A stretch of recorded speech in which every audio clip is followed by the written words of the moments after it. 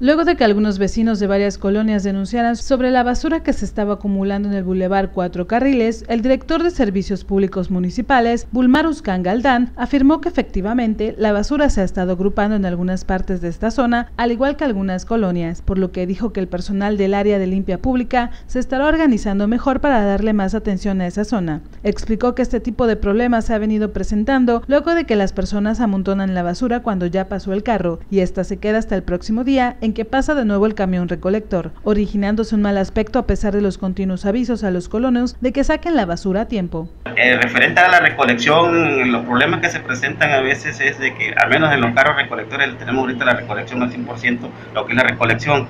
Los problemas que hay es que después de que pasa el camión, sacan la basura o en esas colonias pasan ciertos días a, a hacer la recolección, la recolección no es del diario, pero la gente saca la, la, basura los días que no les pasa al, al camión y eso se origina de que haya basura en las calles.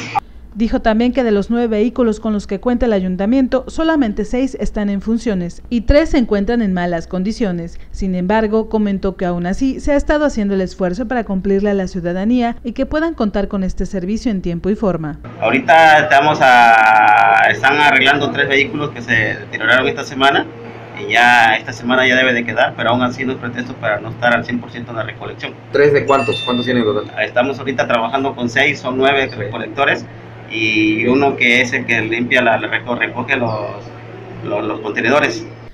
De esta manera pidió a la sociedad trabajar en coordinación para evitar este tipo de casos que manchan la imagen de este municipio, por lo que exhortó a los tuxtepecanos a que tengan a la mano la basura cuando pase el camión recolector y de esta manera se le brinde un mejor servicio. Con información de Alejandro Morales, reportó Claudia Ortega.